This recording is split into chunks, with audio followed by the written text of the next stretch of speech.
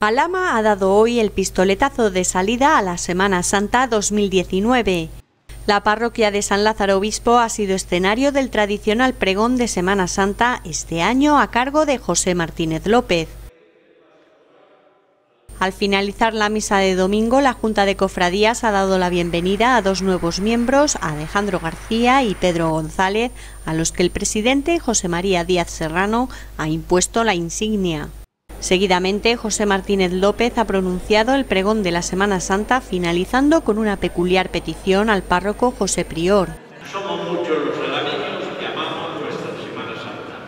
Y, como no, un último ruego para el conciliario que reza nuestra patrona, la Virgen del Rosario, para que dosifique un poquito esa lluvia tan necesaria en nuestros campos para que podamos sacar las procesiones.